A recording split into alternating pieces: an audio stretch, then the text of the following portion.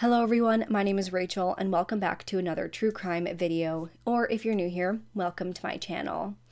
So the case that I have for you guys today is a very difficult case because it's such a tragic and horrifying situation to talk about but I wanted to come on here and tell you guys about this case because while it's still a very recent case, I wanted to bring this to your attention because this seems to be a huge issue right now. Women and children are dying, and fathers are killing their families, and it's just such an unspeakable tragedy that's happening right now, and this case is a very good example of that. So, with that being said, let's just go ahead and get started with this case. So, 40 year old Tausha Haight was married to a 42 year old man named Michael Haight, who worked as an insurance agent.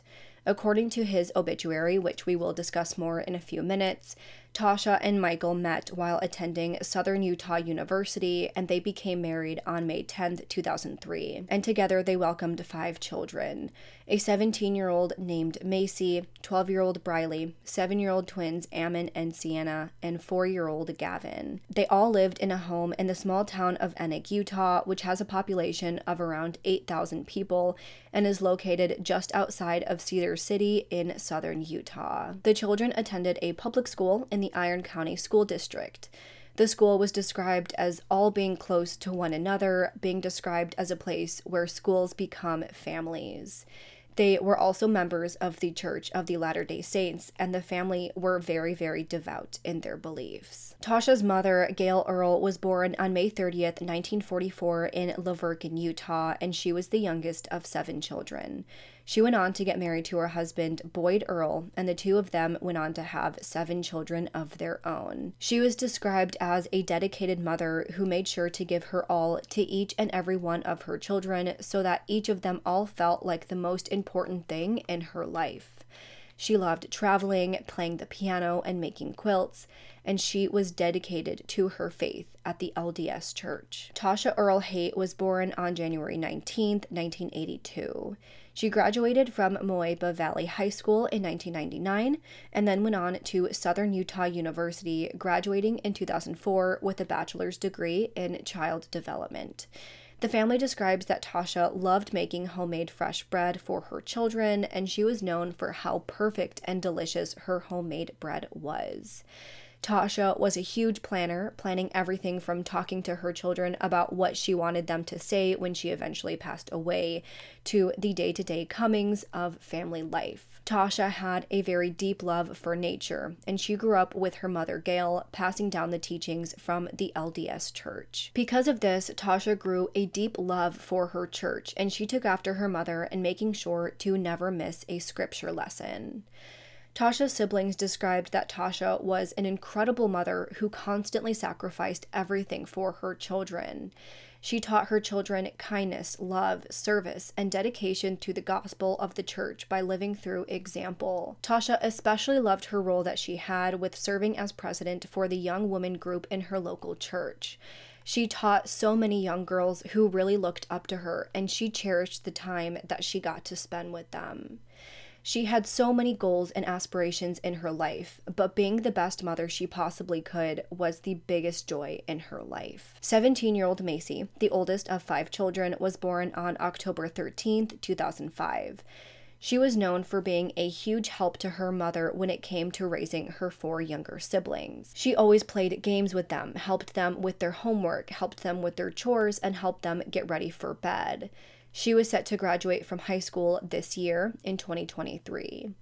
She had planned on going to her parents' alma mater, Southern Utah University, working towards a degree in digital marketing. She liked teasing others and her family, but she always reminded others that it was said with love. Her favorite color was yellow, and she had always looked forward to becoming a mom someday.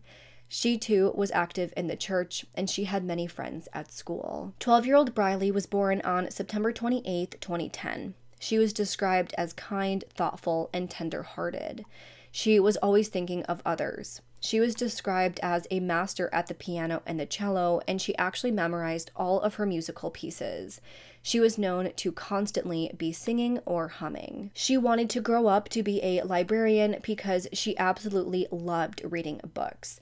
She would literally read all day if she was allowed to. She would always recount her favorite plots, and she couldn't wait to tell others the best part of each book so that they could be excited about reading that book too. She loved spending time with her friends and going to church when she wasn't reading or listening to music. Seven year old Ammon and Sienna were born on June 21st, 2015. Ammon was described as being a smart, logical young boy. He was known for loving jokes and riddles. He was imaginative, curious, and he loved to learn about anything that moved. He loved building Legos and had just finished making a Lego model of the Titanic, which he was so excited about getting just that previous Christmas in 2022. His twin, Sienna, was described as having a bright, vivacious personality. She loved to take pictures with her camera and put funny filters on them. She was very studious at school, and she loved everything about cats, even dressing up as a cat every year for Halloween. She also loved riddles and jokes, and she had a deep love for her friends and especially her sisters. The youngest, four year old Gavin, he was described as having just this most mischievous grin. He was rambunctious and he loved to get into trouble, and you always had to wonder what kind of trouble he was going to get himself into. He was always coloring all over the walls of the family home. A family member said that there weren't picture frames all over the walls, it was murals that Gavin made. They would paint the walls to cover the drawings, and he would just draw right over them once again. He loved superheroes. He was very affectionate, with family members describing that his hugs were like football tackles. He loved to give and receive tickles, and his little smile could just light up your world. Now, from the outside, as you can imagine, the family seemed like your typical small town family. They went to church. They were very devout in their faith. They were active in the community, and their children were known around the high school and in the community.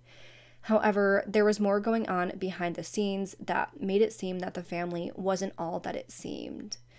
By December 21st, Tausha Haight filed for divorce. By December 27th, her lawyer served Michael with the divorce papers.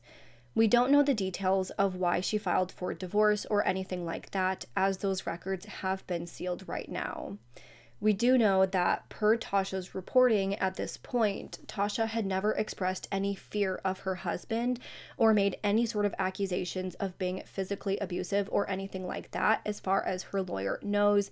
Though I will note that her lawyer only really met up with her, I think, two times before all of this happened. However, there are other things that may have been going on behind the scenes that we will discuss in just a few minutes. But either way, by the morning of January 4th, 2023. Tausha was sent to attend an appointment. I'm not exactly sure what the appointment was, but of course, she did not show. This was unusual enough for her that the person that she was meeting with actually called the authorities and requested that they do a wellness check for her. However, the officer that arrived to the home he walked into something that was the absolute worst possible case scenario that someone could walk into. I can't even imagine thinking, like, oh, she probably just slept, or she probably is just out and forgot about the appointment, but walking into what this officer walked into. This officer found that the entire family had been murdered, all by apparent gunshot wounds. Tausha, Macy, Briley, Ammon, Sienna, Gavin, Tausha's mother, Gail, and Michael were all dead. Right away, it was clear to the police that Michael had shot every member of this family before taking his own life. Once again, we don't know the exact reasons as to why, but people have suspected that it could have to do with the fact that Tausha just filed for divorce two weeks prior to this. Of course, after finding out about this horrible tragedy, the community as a whole were absolutely devastated. No one in this small town could wrap their head around how or why something like this could happen. Mayor Jeffrey Chesnut gave a statement saying that Enoch is a very close community. No one wants to leave the area because the people there are so close to one another. He said, quote, "The neighbors are good, the people are wonderful, and the efforts that we make on one another's behalf is like family." Every student at Iron County School District were all affected by the deaths. Every student knew one another, and so did the staff. They all knew the students. And again, all of these children grew up together because it was such a small, tight knit community. School officials said that even students in schools that the children did not attend were reeling just because of how many people knew the Haight family. However, after all of this came out, the community and those on social media were all outraged at the obituary that was posted for Michael. After murdering his entire family, including his mother in law, the obituary wrote a long paragraph about how great of a person he was. Initially, it started off by talking about his early life, saying that he loved playing sports like baseball, basketball, and soccer. He was an Eagle Scout who loved doing outdoor activities. They talked about how he was so involved in his church, going to various countries for his missions trips. I'm not going to read all of that. I'm just going to summarize it here because I don't think that that part deserves to be told whatsoever. But after that, it gets into the real meat of this monstrosity. It lists each one of the children as well as when the two of them got married. After that, it reads quote, each of these children were truly a cherished miracle to them. Michael made it a point to spend quality time with each and every one of his children. Michael enjoyed making memories with his family. He spent many evenings and Saturdays coaching the children's City League sporting teams, attending children's concerts at school, going on side by side rides, doing home improvement projects, sledding, and much more. Michael lived a life of service. Whether it was serving in the church or in the community, he was willing to help with whatever was needed. Michael owned and operated a successful insurance agency, receiving many awards and honors for his achievements. Many of his clients loved and appreciated the care and attention that he gave to them. Michael recently sold his business to spend more time with his family. And a lot of the comments on his obituary were of past clients and people who knew him outside of his family, just talking about how great of a person he was, how, you know, he took so much time and care with their insurance claims and as clients and things like that. And as you can imagine, people were really upset at the fact that people were referring to Michael as a family man who made sure to spend time with his family when he literally murdered all of them. People were upset that his clients were going on there and vouching for him and talking about how great of a person he was even though he just murdered his entire family. To me, he lost his status as a family man who loved his family and spent time with them when he murdered all of them. Especially on social media, people were absolutely outspoken about how ridiculous it was that this was even posted. In response, the website that originally posted it, The Spectrum, apologized for posting it, saying that you know, it's funeral homes that typically write these obituaries and send them to them to post. It has since been removed, but of course, there are posts of this all over social media, so that's how I was able to read the obituary. So, now let's talk about the other aspects of this case that shows that this may have been something that was brewing behind the scenes for quite a while. So, we know that this family had several guns and they were trained with them to protect themselves. It turned out that two weeks before the murder suicide, Michael had removed all of the guns from the house. Tausha told family members of this, and they aren't exactly sure how she felt about this or what she thought about this. But some friends and family members have said that they think that Michael did this on purpose in order to make it impossible for the family to defend themselves, since, you know, Tausha and her mother were very well trained with firearms for personal protection. They reported that they had these guns to protect their own lives. Once again, the family said that they didn't know what Tausha thought about the removal of the guns, but it left the family vulnerable. Because the authorities aren't exactly sure how the whole situation took place, they don't know if having the guns would have protected them from Michael. However, once again, Gail and Tausha were both trained gun owners, so many people think that they would have survived had they had their own firearms for protection. The fact that this happened literally two weeks before this murder suicide took place makes me think that, you know, he was finding out about the divorce. He was served with the papers and then immediately removed the firearms from the home and was planning on a day that he was going to carry out this entire thing. But either way, the family stated, quote, Protective firearms were purposely removed from the home prior to the incident because all adults were properly trained to protect human life. This is the type of loss that will continue to occur in families, communities, and this nation when protective firearms are no longer accessible. They've also said that they want the media focus on their family to be around the loss of life and how precious life is rather than using this for a political matter for, you know, gun control and things like that which I do understand. Nobody wants to see, you know, their tragedy being used politically. I personally wouldn't, whether it be on either side. I wouldn't want to use a tragedy in my life as something political for a party to gain off of. So I do understand that. And so that is all I'm going to say about that. You guys can say what you want in the comments, but that's where I'm going to leave it out of respect for the family. Then it also came out that in 2020, Michael was actually being investigated for child abuse, though he was never charged. However, it came out that Macy Haight told authorities that her father had been assaultive with her a few times over the past few years. With this incident and reporting, both Macy and her mother were interviewed separately from each other and separately from Michael, and he too was interviewed in all of this. Macy reported about three different incidences that had occurred over the course of three years, saying that she was terrified that her father was going to hurt her. In one incident, she said that they were in the family's piano room where Michael became so angry that he grabbed her by the shoulders and then shook her and then banged her head into a wooden piece along the back of the couch. She wasn't seriously injured with this, she wasn't injured at all, but Obviously, this left her terrified. In another situation, she said that they were in the pantry when Michael became so angry that he grabbed her around the neck and choked her. She said that she was afraid that he was going to stop her from breathing and kill her.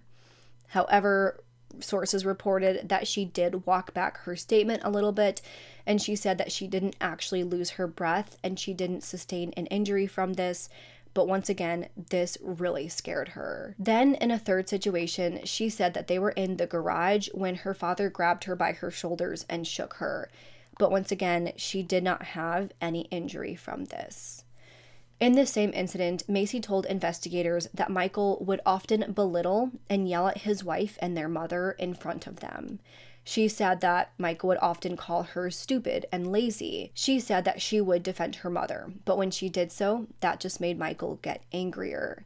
She said that sometimes Michael would take Tausha's phone away from her to prevent her from being able to leave the house. When Michael was interviewed, he denied having abused his daughter or Tausha or any of his other children though he did admit that there was a misunderstanding where he said that Macy had been mouthy and he admitted to getting angry, maybe even losing his temper, saying that he was struggling with his father's death as well as his brother's divorce. So that was basically his excuse for flying off the wall. Then it was reported that he did admit that he had taken his wife's iPad and her cell phone to check her text messages to see if she had said anything negative about his family. He said that he believed that she was talking to her sister about his sister and his mother, so he wanted to read those text messages.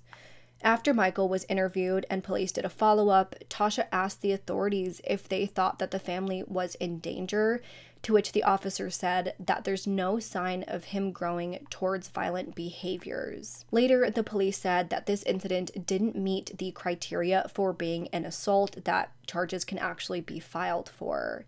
It was stated, though, that Tausha told investigators that she didn't necessarily want to press charges against Michael, that she was just hoping that this whole thing served as a wake up call for him. Of course, people in the media and people in the community were upset that police may have missed the warning signs.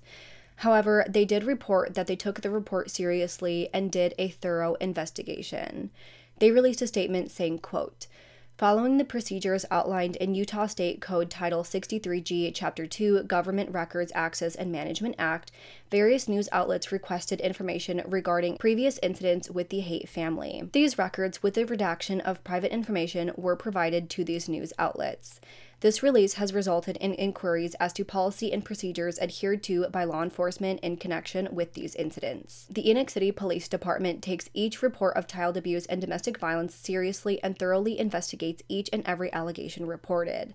In regard specifically to Michael Haight, the Enoch City Police Department received information from the Department of Family and Child Services related to allegations of abuse by Michael Haight. Investigators conducted interviews with Macy Haight, Michael Haight, and Tausha Earl Haight concerning the alleged child abuse. These interviews were conducted separately and in accordance with best practices, where Macy Haight was interviewed separately at the Iron County Children's Justice Center by individuals with specialized training related to child abuse. As a part of the investigative process, the Enoch City Police Department staffs all investigations where a CJC interview is conducted with a multi interagency team that includes DCFS, the CJC, victims advocates, and the Iron County Attorney's Office, and others.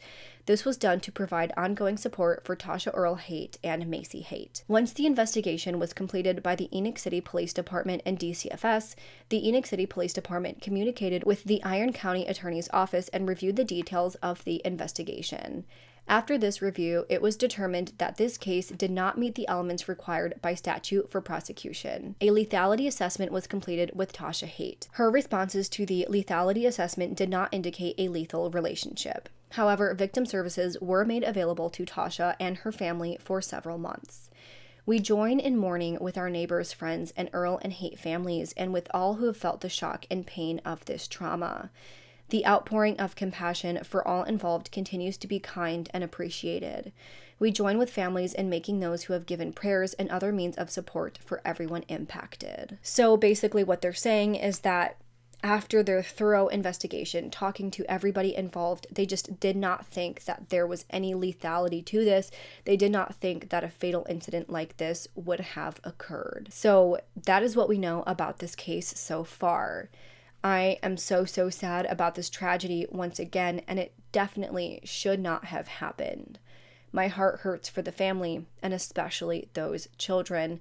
I'm really looking forward to hearing more that comes out after this case as a more detailed timeline comes out, as well as the autopsy reports. But that is where I'm going to end the case. It is obviously frustrating that the police couldn't have prevented this. I obviously wish the police could have done more to help Tausha and her family and give them the resources to get out of there if they needed to. And I just wish that, you know, with this history of abuse and knowing that these violent outbursts had happened, that once she filed for divorce, I just wish something could have been done to protect her. I don't know what she thought was going to happen with this divorce. We don't know why this divorce was even filed, but if I would assume or I would guess, I would think that it has something to do with these outbursts and with his behaviors that obviously she was getting very, very tired of. So I just wish more could have been done once, you know, something like this was going to happen, once he was going to be you know, on the receiving end of divorce papers.